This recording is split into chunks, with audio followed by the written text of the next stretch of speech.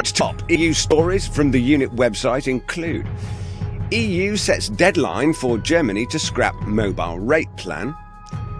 And outside EU migrants are using a backdoor route to gain UK citizenship. Rising coal use burns EU emissions efforts.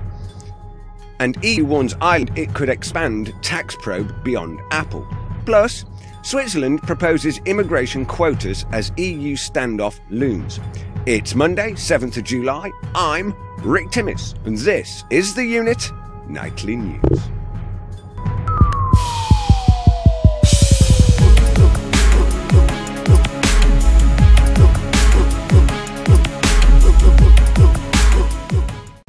EU sets deadline for Germany to scrap mobile rate plan.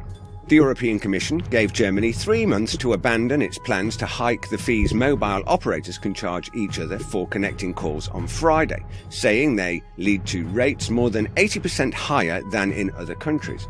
The EU executive issued a first warning to the German telecoms regulator over its plans to raise the so-called mobile termination rates in April, but Bundesnetzagentur BNetzA failed to address its concern. The German regulator has calculated mobile termination rates in a way which differs from the Commission's recommended approach, the Commission said in a statement. BNetzA has three months to convince the Commission that it will amend its tariffs. If it fails to do so, the Commission will follow up with more formal warnings, which could ultimately lead to court proceedings and fines.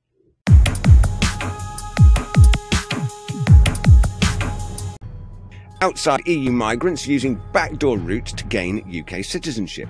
Migrants from outside the European Union have been using backdoor routes, including sham marriages, to gain British citizenship, according to a new UK government probe. According to a report by the Chief Inspector of Borders and Immigration, sham marriages to EU citizens living in Britain are growing as non Europeans try to get round UK government controls. Our findings suggest that the European citizenship route is becoming an increasingly important way into the UK for those whose origins lie outside the European Economic Area, particularly now that the immigration rules have been tightened, Chief Inspector John Vine said in his report. Attempted abuse by non-EEA nationals applying on the basis of sham marriages or civil partnerships with European citizens was significant, he said.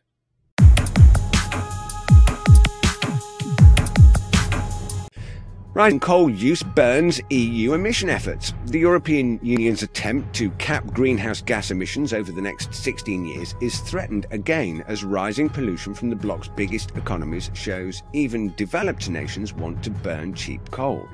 Germany, Europe's largest economy, boosted consumption of the fuel by 13% in the past four years, while use in Britain, number three in the region economically, rose 22%, statistics from oil company BP plc show. Now, while Germany pledged to cut heat-trapping gases 55% by 2030 from 1990 levels, it's managed 25% so far, and it's moving in the wrong direction, according to the European Environment Agency. The EU is seeking to craft a deal in October that would cut greenhouse gases 40% by 2030 in the world's biggest effort to combat global warming since the Kyoto Climate Treaty of 1997.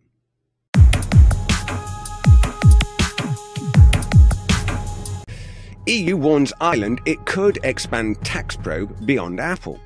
The European Commission has told Ireland it may investigate more companies as part of a probe into the country's tax practices after announcing its formal probe into Apple Inc.'s Irish subsidiaries, a person familiar with the matter said on Friday.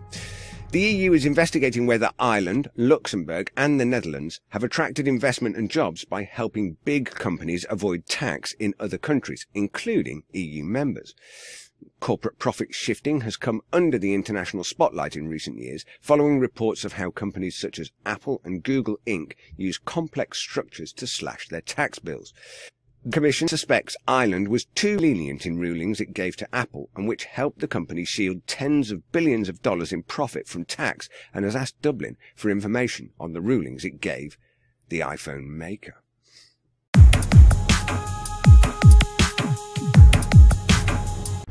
Switzerland proposes immigration quotas as EU standoff looms.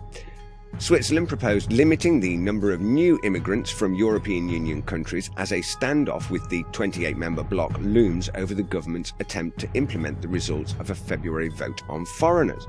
The proposal features quotas and a maximum number of new immigrants in Switzerland, the government said in an emailed statement today. While the system still includes preferential treatment of citizens from the EU, of which Switzerland isn't a member, the European Commission said that any system featuring restrictions of movement is irreconcilable with EU-Swiss treaties. The Swiss government's steps come in response to a national referendum in February that required it to introduce measures to stop mass immigration. A fifth of Switzerland's 8 million inhabitants aren't citizens.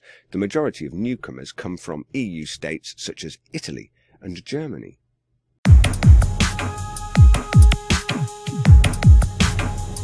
So those that follow the unit regularly will know that we are going through an internal transition at the moment. With the retirement of Trevor Colman MEP, we have also lost the funding from the European Parliament. Now you'll notice of course that the various declarations that were imposed upon us by the EU have now been removed and we are entirely unfunded at this time.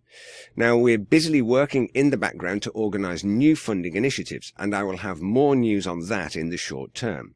Of course, our staff are now back on the open employment market, and that means that any input that they have to the unit is voluntary.